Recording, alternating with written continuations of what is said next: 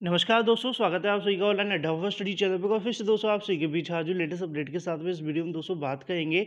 SBI में अगर बात करें 8,500 पदों पर आवेदन के बारे में बंपर भर्ती को लेकर सैंतीस हज़ार तीन सौ उनतालीस पदों पर नियुक्ति के बारे में साथ में अगर देखें काउंसलिंग और शासन आदेश को लेकर, अच्छी खबर देखने के लिए मिल रही है प्राथमिक और जूनियर शिक्षक भर्ती का नया आयोग तैयार है। वहीं यूपी ट्रिपल से अगर बात करें पीईटी और साथ में चालीस हज़ार भर्ती के शासन आदेश को लेकर ही बात करेंगे। तो बन बन सारी अपडेट हम कवर करते हैं। चलिए दोस्तों वीडियो शुरू करते हैं। S B I P O exam में अब कुछ ही दिन बचे हैं। इस टाइम को भरपूर फ़ायदा उठाएँ और टेस्ट के साथ प्रिपरेशन को करें पूरा।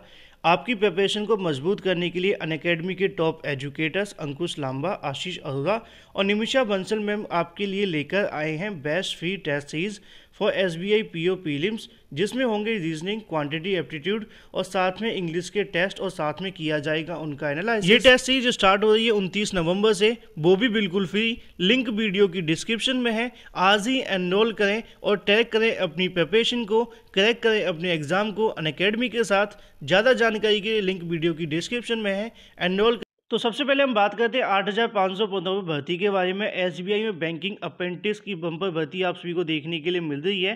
पद जैसा कि आप सभी को है अप्रेंटिस और वहीं अगर बात करें आयु को लेकर 20 से 28 आप सभी की होनी चाहिए 31 दस 2020 से आपकी यहाँ कैलकुलेट की जाएगी।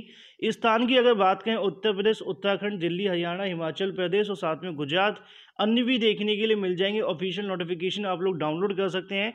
ऑफिशियल वेबसाइट से प्रशिक्षण की अगर हम बात करें, तीन वर्षीय आप सभी को देखने के लिए मिल रहा है। स्टाइपेंड की अगर हम बात करें, पंद्रह हज़ार रुपये प्रथम वर्ष में आपको देखने के लिए मिलेंगे।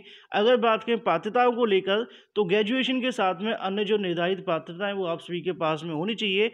शुल्क के बारे में यहाँ जानकारी दी गई तीन सौ रुपये एवं निःशुल्क देखने के लिए मिलेगा, जो कि अदर कैटेगरी वाले अभ्यर्थियों के लिए होगा, जो भी जानकारी होगी ऑफिशियल नोटिफिकेशन में आप लोगों को देखने के लिए मिल जाएगी। परीक्षा की अगर बात करें, जनवरी 2021 में आपको देखने के लिए मिलेगी ऑनलाइन आवेदन आप सभी के लिए जा रहे और अंतिम तिथि जो है वो 10 दिसंबर 2020 है तो जल्दी से आप लोग आवेदन भी कर सकते हैं। अभी आप लोगों के पास में समय भी है। ज़्यादा जानकारी के लिए डब्ल्यू पे आप सभी जाएँगे तो वहाँ से आप लोग आवेदन कर सकते हैं। उसी के बारे में आप सभी को यहाँ पे भी देखने के लिए मिल जाएगा। एसबीआई में नौकरी से पहले तीन साल की इंटर्नशिप आप सभी के सामने आ जाती है। बैंक की कसौटी पर खड़ा उतरने के बाद कंफर्म होगी आप सभी की नौकरी। 8,500 पदों के लिए जो ऑनलाइन आवेदन है वो मांगे गए हैं। साथ ही इसमें जो आपका एग्ज़ाम होगा लगभग सौ नंबर का आपको देखने के लिए मिलेगा जो कि ऑनलाइन मोड से करवाया जाएगा। साथ ही इसके अंदर आप सभी के जो एग्ज़ाम का जो पैटर्न होगा वो ऑब्जेक्टिव देखने के लिए मिलेगा जिसमें सौ नंबर आप सभी के पूछे जाएँगे और सौ क्वेश्चंस होंगे जिसका आपको एक एक नंबर देखने के लिए मिलेगा ठीक है? उसी क्रम में इनमें सामान्य और अर्थ जगत के 25 प्रश्न आपको देखने के लिए मिलेंगे। मैथमेटिक की अगर हम बात करें, जो कि आप सभी देख पाएँगे उसके भी यहाँ पे लिखा हुआ है।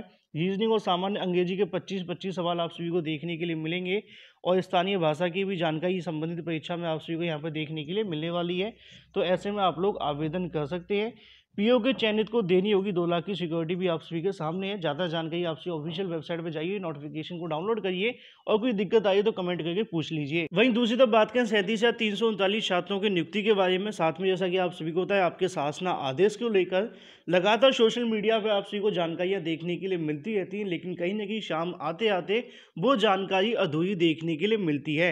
ऑनलाइन अड्डा फॉर स्टडी चैनल के माध्यम से लगातार आप सभी को जानकारी देगी कल भी जो जानकारी लेने का प्रयास किया गया था, लेकिन ऐसे में अधिकारियों के माध्यम से जानकारी न देना कहीं ना कहीं इस बात के संकेत देता है कि आपकी जो काम है वो चल रहा है, लेकिन कहाँ तक पहुँचा है इसके बारे में बताना नहीं चाहते हैं। तो ऐसे में आपकी काउंसलिंग और नियुक्ति को लेकर जैसा कि जानकारी निकल गई कि आई थी कि मंडे से आपकी जो प्रक्रिया शुरू करवा दी जाएगी और कभी भी आपकी जो चयन सूची है वो जारी हो जाएगी। अगर आज या कल में आप सभी का जो शासन आदेश है वो जारी हो जाता है, संभावना ऐसी बन रही है कि जल्द आपको शासन आदेश देखने के लिए मिलेगा, क्योंकि जब तक शासन आदेश जारी नहीं हो जाता तब तक कागज़ी तौर पे आपकी जो प्रक्रिया है वो शुरू नहीं होगी। चाहे एनआईसी आपकी चयन सूची पहले से बना ले या फिर आपका जो कार्यक्रम वो तैयार कर ले एस लेकिन जब तक शासन आदेश जारी नहीं हो जाता है, तब तक आप लोगों को यहाँ पर इंतज़ार करना पड़ेगा। लेकिन ऐसे में जो सैंतीस हज़ार तीन सौ उनतालीस के छात्र हैं, उनके माध्यम से रणनीति देखने के लिए मिल रही है। उनका कहना है कि अगर सोमवार, मंगलवार तक भर्ती प्रक्रिया को लेकर प्रोसेस आगे नहीं बढ़ता है तो यहाँ पर अभ्यर्थी धरना प्रदर्शन भी कर सकते हैं एससीआरटी पर, क्योंकि दो साल के लंबे इंतज़ार के बाद अगर यहाँ पर अधिकारी भर्ती में देरी करते हैं तो कहीं ना कहीं आप सभी को होता है कि मामला फिर बाद में फंस सकता है। तमाम तरीके के यहाँ पे जो केस है, वो लगे हुए उन पर सुनवाई होगी। अगर कहीं से भी इस भर्ती प्रक्रिया में थोड़ा सा भी विलंब हुआ तो सैंतीस या तीन सौ उनतालीस छात्रों को बड़ा नुकसान हो सकता है। तो ऐसे में सोमवार, मंगलवार तक अभ्यर्थी इंतज़ार करेंगे शासनादेश तक, या फिर चयन सूची के बारे में अगर ऐसा कुछ नहीं हो पाता है तो आगामी समय के अंदर आपको धरना प्रदर्शन भी देखने के लिए मिल सकता है। लेकिन विभागीय सूत्रों की माने तो उनका कहना है कि सोमवार से आपकी जो प्रक्रिया है वो शुरू कर दी जाएगी। हालाँकि ऐसा शिक्षा मंत्री जी की तरफ़ से भी कहा गया था कि कॉपी मिलती आपका जो प्रोसेस है वो शुरू हो जाएगा एस सी पे काम भी जारी है। कल एक मीटिंग भी देखने के लिए मिली थी, लेकिन मीटिंग के बाद उम्मीदें ऐसी थी कि शासना आदेश जारी हो जाएगा, लेकिन अभी तक शासना आदेश जारी नहीं हुआ है। ऐसे में जानकारी निकल करके आ रही है कि कभी भी आपका जो शासना आदेश है, वो जारी हो सकता है। मीटिंग के बाद काफ़ी जो सकारात्मक चीज़ें वो देखने के लिए मिली हैं। हालाँकि कहीं ना कहीं आधिकारिक तौर पर इसके बारे में जानकारी अभी तक नहीं दी गई है। तो ऐसे में जो आपका शासना आदेश है, आज या कल में जारी होने की प्रबल संभावना है और सोमवार से आपका जो प्रोसेस है, वो शुरू करवा दिया जाएगा। लेकिन अगर ऐसे में नहीं हो पाता है तो सैंतीस या तीन सौ उनतालीस छात्र एक बार फिर से अपनी मांगों को लेकर सड़कों पर उतर सकते क्योंकि लगातार अभ्यर्थियों के माध्यम से एस पर जाकर अपनी मांगों को लेकर और साथ में कहीं की जानकारी लेने का जो प्रयास है, वो किया जा रहा है। तो ऐसे में अधिकारी जानकारी नहीं दें तो इसी के बारे में सैंतीस या तीन सौ उनतालीस छात्रों को लेकर आगामी समय में आपको ये भी चीज़ें देखने के लिए मिल सकती हैं। लेकिन अभी तक जो जानकारी मिली है, उसके माध्यम से यही है कि चौबीस तारीख से आपका जो प्रोसेस है, वो शुरू होगा। चयन सूची जारी होने के एक दो दिन के अंदर ही आप सभी की जो काउंसलिंग है, वो भी करवा ली जाएगी। जो भी अभ्यर्थी सैंतीस हज़ार तीन सौ उनतालीस के अंदर हैं, अपने डॉक्यूमेंट्स तैयार रखें। जल्द आप लोगों को आवश्यकता पड़ने वाली है।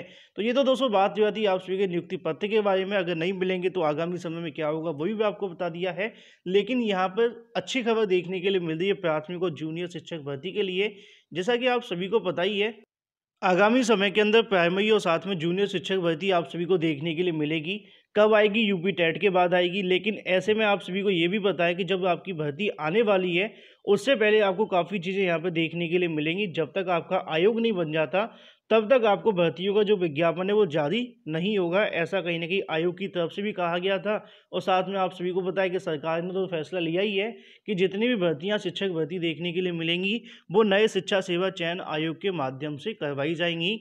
तो उसी क्रम में प्रदेश में बेसिक माध्यमिक शिक्षा को लेकर साथ में उच्च शिक्षा विभाग के सहायता प्राप्त शिक्षण संस्थानों में शिक्षकों की भर्ती के लिए गठित होने वाले उत्तर प्रदेश शिक्षा सेवा चयन आयोग का मसौदा तैयार हो गया। शासन ने मंजूरी के लिए इसे मुख्यमंत्री के समक्ष पेश किया है। मुख्यमंत्री की मंजूरी मिलने के बाद इस प्रस्ताव को कैबिनेट में रखा जाएगा और बेसिक शिक्षा विभाग की सहायता प्राप्त और साथ में परिषदीय स्कूलों में सहायक अध्यापकों माध्यमिक शिक्षा विभाग की सहायता प्राप्त स्कूलों को साथ में उच्च शिक्षा विभाग में सहायता प्राप्त महाविद्यालयों के लिए, शिक्षकों की भर्ती के लिए, आयोग के ज़रिए ही आप सभी को देखने के लिए मिलेंगी। इसमें एक अध्यक्ष होंगे, सात से आठ आपको सदस्य नियुक्त करना चाहिए, जाना है। जहाँ पर उप मुख्यमंत्री डॉक्टर दिनेश शर्मा ने बताया कि अगर हम बात करें बेसिक माध्यमिक और साथ में उच्च शिक्षा विभाग की आपत्तियों का निस्तारण करने के लिए साथ ही सुझावों को स्वीकार और साथ में प्रस्ताव मुख्यमंत्री के समक्ष मंजूरी के लिए भेजा गया है। अगले वर्ष की शुरुआत में आयोग का जो गठन है वो किया जा सकता है। फिर से निकाली जाएगी पंद्रह हज़ार शिक्षकों की भर्ती, जैसा कि आप लोग नीचे देख पाए, इसके बारे में भी जानकारी दी गई है, जो कि आप सभी को पता है, टीजीटी, पीजीटी की है। लेकिन सबसे अच्छी बात यह है कि आगामी समय के अंदर अगर जनवरी में या फरवरी तक ये आयोग बन जाता है, अगर ये कारोबार ग्रहण हो जाता है, सारा चीज़ हो जाती है, जो कि आप सभी को पता है कि पिछली बार भी कहा गया था पिछले एक साल से अभी तक जो आयोग है वो तैयार नहीं हुआ था। तो ऐसे में जनवरी, फरवरी तक तैयार हुआ तो मार्च में आपको प्राइमरी और साथ में जूनियर शिक्षक भर्ती देखने के लिए मिल सकती है। एक बड़ी राहत होगी उन सभी अभ्यर्थियों के लिए, जो काफ़ी लंबे समय से इन दोनों भर्तियों को लेकर इंतज़ार तो कर रहे हैं, लेकिन कहीं ना कहीं नए आयोग के ना बनने की वजह से आपको जो भर्ती है वो देखने के लिए नहीं मिल पा रही है। तो ऐसे में जानकारी मिल रही है कि जल्द आप सभी को यहाँ से नए आयोग के बारे में जो खुशखबरी वो मिलेगी। वहीं अगर हम बात करें यूपी डबल एस को लेकर। जैसा कि आप सभी को पता है कि यूपी डबल एस से कई भर्तियाँ आनी है, सिर्फ़ यूपी डबल एस नहीं, उत्तर प्रदेश में बहुत सारी भर्ती आनी है, लेकिन कोई नए आयोग की वजह से रुकी है तो कोई पीईटी की वजह से भर्ती नहीं करवा पा रहा है। अभी एक आंकड़े सामने देखने के लिए मिले थे कि पीईटी की वजह से लगभग पैंतीस हज़ार पदों के अध्याचन रुके हुए हैं। अगर उनके नए अध्याचन लिए जाए तो संख्या चालीस हज़ार से भी ज़्यादा रह सकती है। और उन सभी भर्तियों के जो विज्ञापन है वो अटके हुए हैं पीईटी की वजह से। तो पीईटी के बारे में यहाँ पे जानकारी निकल करके आ रही है। क्योंकि अगर एक बार पीईटी हो जाएगा तो चालीस हज़ार भर्ती भी हो जाएँगी। तो बड़ी अपडेट आप सभी को यहाँ पर देखने के लिए मिल रही कि पहले तो मैंने आप सभी को बता ही दिया था कि मुख्यमंत्री सर की तरफ़ से यहाँ पे जो मंजूरी है वो दे दी गई है। शुक्रवार को इसके बारे में जो शासन आदेश है वो भी जारी कर दिया गया है। जैसी लिखित में इनको शासन आदेश मिलेगा यूपी ट्रिपल को, उसके बाद से आपकी जो प्रक्रिया है वो भी शुरू हो गई है। तो आगामी समय के अंदर जैसी पीईटी होगा, उसके बाद में चालीस हज़ार भर्ती भी आप सभी को देखने के लिए मिलेगी।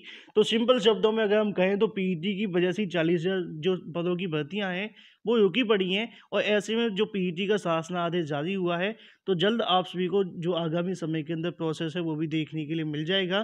किसी भर्ती परीक्षा में अभ्यर्थी की भारी संख्या को देखते हुए इम्तिहान कराने की दुश्वारियों से निपटने के लिए आयोग ने यह कदम उठाया है। नई व्यवस्था के तहत अगर हम बात करें, आयोग प्रारंभिक स्तर की परीक्षा को लेकर, जैसा कि आप सभी को मैंने कई बार बता दिया है, पीईटी करवाएगा और उसी के माध्यम से अभ्यर्थी को शॉर्टलिस्ट करने वाला है। बार बार आपको पंजीकरण कराने की समस्या से छुटकारा मिलेगा। ऐसे में आप लोगों को क्या लगता है, आप कितना सहमत है पीईटी को लेकर? कमेंट करके अवश्य बताएँ, जिससे कि आगामी समय के अंदर इसके बारे में आपके सामने जो चीज़ें वो रखी जाएँगी। फ़िलहाल इस वीडियो के माध्यम से इतना ही। वीडियो पसंद आए वीडियो को लाइक और शेयर करना बिल्कुल ना भूलें। So guys thank you thank you for watching this video